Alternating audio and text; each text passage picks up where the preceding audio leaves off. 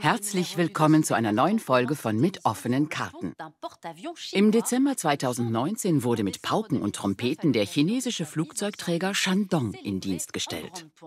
Denn China verfolgt unter Xi Jinping das Ziel, sich als größte Seemacht der Welt den USA im strategisch wichtigen Indo-Pazifik entgegenzustellen und vor allem Taiwan mit dem Festland zu vereinen, das rebellische und demokratische kleine China.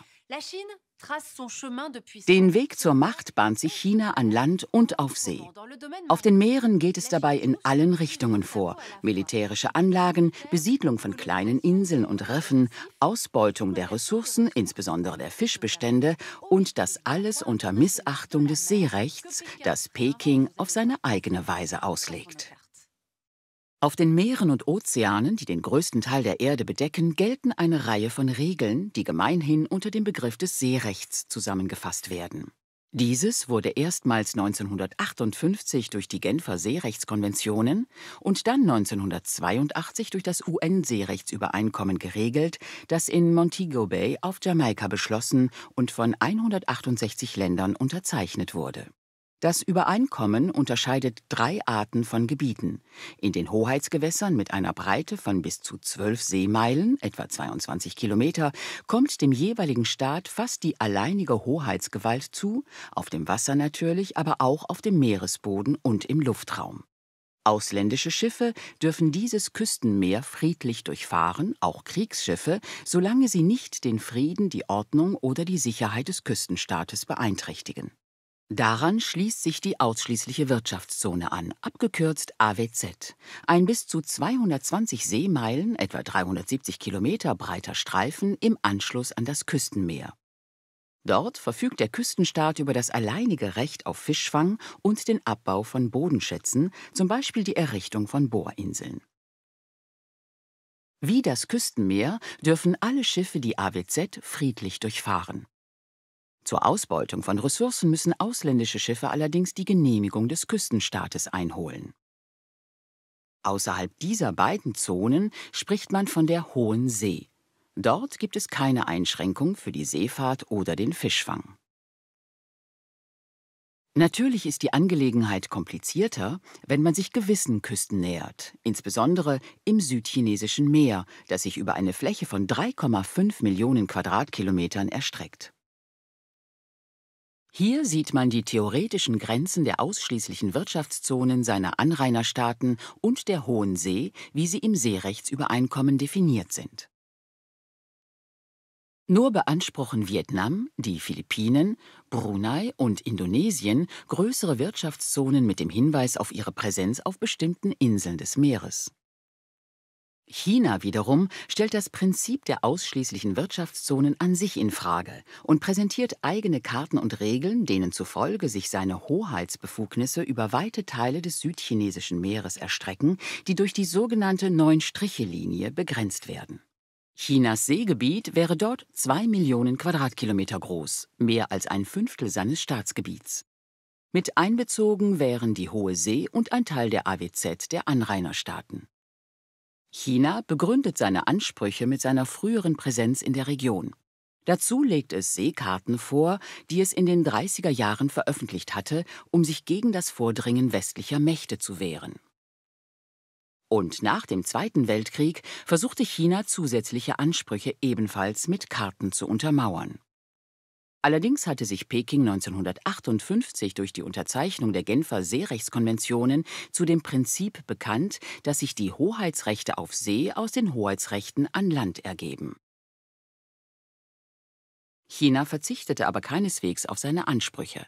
Es änderte nur seine Strategie und umging die westliche Regel der AWZ.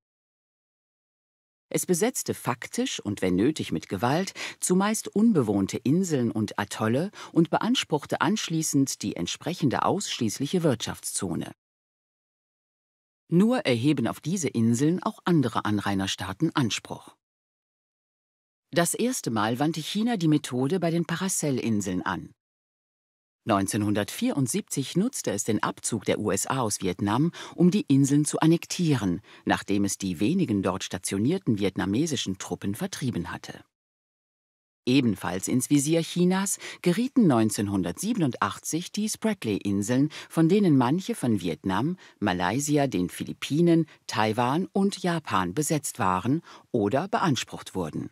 Im Zuge einer UN-Mission zur Überwachung des Meeresspiegels errichtete China eine ozeanografische Station auf dem Fiery Cross Riff, von dem damals nur zwei Felsen bei Ebbe aus dem Meer ragten. Diesem ersten Gewaltstreich folgte die Annexion des Johnson South Riffs in der philippinischen AWZ und schließlich der Versuch einer Annexion der von Vietnam besetzten Insel Sincao. 1994 geriet dann auch das Mischief Riff unter chinesische Kontrolle. 2012 schließlich annektierte China faktisch durch die Sperrung der Zufahrt das Scarborough Riff ein zu den Philippinen gehörendes Atoll, dessen beide Inseln sich bei Ebbe nur bis zu drei Meter aus dem Meer erheben. Um seine Ansprüche zu untermauern, schüttete China ab 2013 an manchen von ihm kontrollierten Atollen in großem Maße Sand auf, insbesondere auf Fiery Cross, und wandelte ohne Rücksicht auf die Umwelt einfache Felsen in regelrechte künstliche Inseln um. Flugplätze mit kilometerlangen Landebahnen, Militärstützpunkte, Hotelanlagen, alles musste für die Rechtfertigung von Chinas Hoheit und damit implizit seine Ansprüche auf eine AWZ herhalten. Die meisten Inseln sind inzwischen chinesische Verwaltungseinheiten und bilden, wie Gegner des Regimes in Peking sarkastisch sagen, eine große Mauer aus Sand. Abgesehen von der Inbesitznahme greift China auch auf seine imposante Fischereiflotte zurück, um Inseln faktisch zu besetzen. Zum Beispiel im Fall des Julian Felipe Riffs, das zu den Philippinen gehört. Seine Fischer schützt es dabei mit Hilfe von Seemilizen und seiner Küstenwache. Natürlich sind die Anrainerstaaten des südchinesischen Meeres gegenüber China nicht untätig geblieben. Nur hat Chinas militärische Schlagkraft bisher ernsthafte Gegenmaßnahmen verhindert. Und der Rechtsweg, den zum Beispiel die Philippinen 2016 beschritten, war bisher erfolglos. Denn China erkennt die Zuständigkeit des Internationalen Schiedsgerichts, das den Philippinen Recht gab und China verurteilte, nicht an. Chinas Ansprüche im südchinesischen Meer sind umso problematischer, als Peking inzwischen ausländische Schiffe dazu zwingt, sich von chinesischen Schiffen begleiten zu lassen.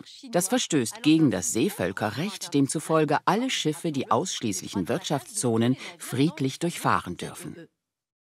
Das ist insofern widersprüchlich, als China seit 2015 seinen wirtschaftlichen Aufschwung gerade der freien Seefahrt verdankt. Chinesische Schiffe fahren auf allen Meeren und China ist die bedeutendste Fischfangnation auf hoher See mit tausenden Schiffen in allen internationalen Gewässern. Die Kontrollwut Pekings im südchinesischen Meer beunruhigt die Länder Südostasiens, aber auch Japan und Südkorea, denn für sie ist die freie Durchfahrt durch das Meer lebenswichtig. Ein Viertel des Welthandels wird auf diesen Seewegen abgewickelt. Zur Kontrolle der Meere könnte auch die des Luftraums darüber kommen, wie sie China seit einiger Zeit im ostchinesischen Meer ausübt. Die USA haben China bereits gewarnt, dass sie keine Änderung der Aufteilung des Luftraums über dem südchinesischen Meer akzeptieren werden, aber es ist nicht sicher, wie sich die Fluggesellschaften verhalten werden. Sie haben sich bereits Pekings Forderungen gefügt, für das Überfliegen des ostchinesischen Meeres eine Genehmigung einzuholen, und manche meiden den Luftraum ganz. Die Folgen der aggressiven Haltung Pekings sind, abgesehen von den grundsätzlichen rechtlichen Fragen, die sie aufwirft, eine zunehmende militärische Präsenz. Taiwan ist mit einer Armee von 200.000 Mann am meisten vom chinesischen Expansionismus betroffen. Noch investiert es nur in die Modernisierung seiner Infrastrukturen, da eine Aufrüstung von der Volksrepublik als offensiver Schritt angesehen werden könnte. Indonesien liegt als eine weitere bedeutende Regionalmacht zwar außerhalb von Chinas neuen Strichelinie, hat aber seine Präsenz ebenfalls ausgeweitet, vor allem bei den Natuna-Inseln mit ihren großen Erdgasreserven. Und Japan rüstet als großer Machtrivale Chinas in der Region in erheblichem Maße auf, nachdem man 2013 in Peking eine neue Karte der chinesischen Seegebiete veröffentlicht hatte. Diese umfasst die japanischen Senkaku-Inseln, von China Diaoyu genannt, womit China das regelmäßige Eindringen von Schiffen seiner Marine in japanische Gewässer rechtfertigt. Japan stellte daraufhin 2016 ein neuntes Luftwaffengeschwader auf und stationierte 2019 zwei Sicherheitseinheiten auf Amami Oshima und Miyakojima. Auch die USA sind sehr präsent in der Region und sie sind die einzige wahre Gegenmacht zu Chinas Hegemoniestreben. 50.000 US-Soldaten sind in Japan stationiert, vor allem in Yokosuka. Und die USA sind präsent auf ihrer Insel Guam. Außerdem erlaubten ihnen die Philippinen kürzlich die Einrichtung von Stützpunkten, durch die sie ihre Schlagkraft vor den Toren Chinas ausbauen können. Chinas Seemacht nimmt also auf beeindruckende Weise zu, was manche westlichen Militärstrategen beunruhigt. Ihnen zufolge sollte der Westen um jeden Preis die Oberhand auf dem Meer behalten, um China und Russland in Schach halten zu können. Und bisher beruht die Macht des Westens auf seinen Kriegsflotten, seinen Stützpunkten, seinen Besitzungen und der Kontrolle über die bedeutenden Seewege. Nur wird dem Westen nun die Vormacht durch China streitig gemacht, das sich beim Erreichen seiner Ziele wenig um das Völkerrecht kümmert. Und auch Wladimir Putin führt den Krieg gegen die Ukraine nicht nur im Donbass, sondern auch vor der Küste von Volodymyr Zelenskys Land.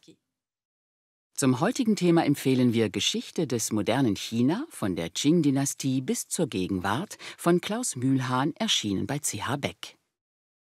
Damit endet unsere heutige Ausgabe. Wir sehen uns nächste Woche wieder am gleichen Ort und zur gleichen Zeit. Bis dahin finden Sie uns auf arte.tv. Bis bald.